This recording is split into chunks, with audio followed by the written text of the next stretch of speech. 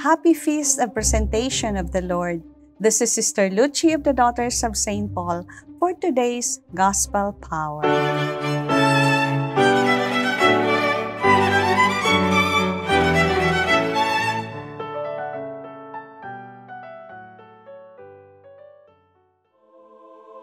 When the time came for their purification according to the law of Moses, they brought the child up to Jerusalem to present him to the Lord.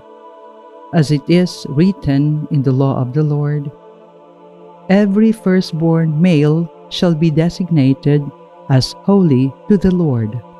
And they offered a sacrifice according to what is stated in the law of the Lord a pair of turtle doves or two young pigeons. Now there was a man in Jerusalem whose name was Simeon.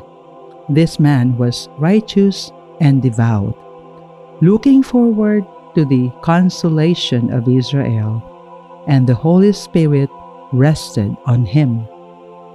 It had been revealed to him by the Holy Spirit that he would not see death before he had seen the Lord's Messiah.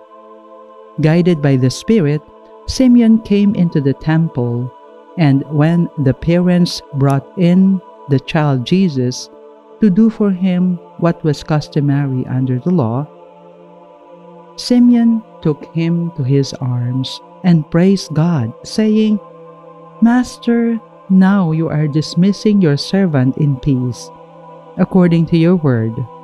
For my eyes have seen your salvation, which you have prepared in the presence of all peoples a light for revelation to the Gentiles and for glory to your people Israel.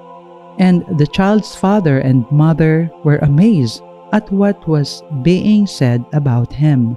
Then Simeon blessed them and said to his mother Mary, This child is destined for the falling and the rising of many in Israel, and to be a sign that will be opposed, so that the inner thoughts of many will be revealed, and a sword will pierce your own soul too.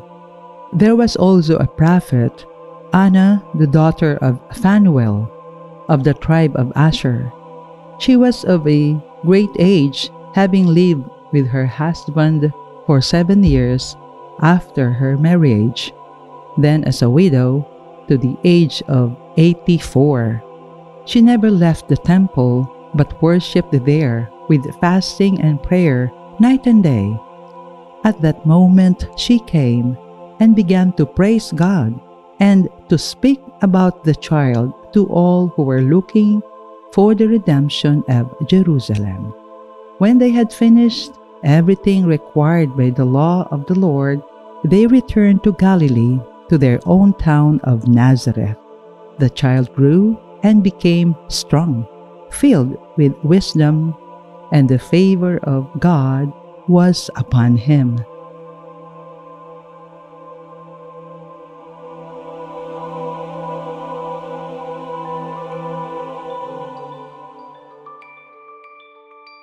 The meeting between the young couple, Mary and Joseph, and the elderly pair, Simeon and Anna, has a deep theological significance.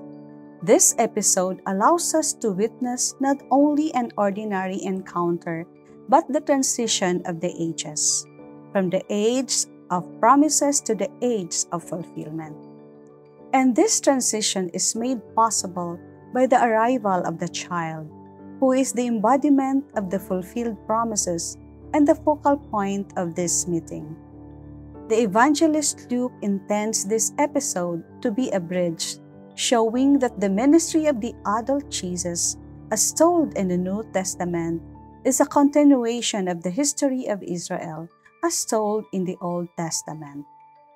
To emphasize further this continuity between the two ages, Luke portrays the young couple as obedient to the law of Moses and the elderly Simeon as guided by the Holy Spirit. The law which dominated the age of promises is not abolished, but will find its perfect fulfillment in this child who is also the bearer of God's Holy Spirit.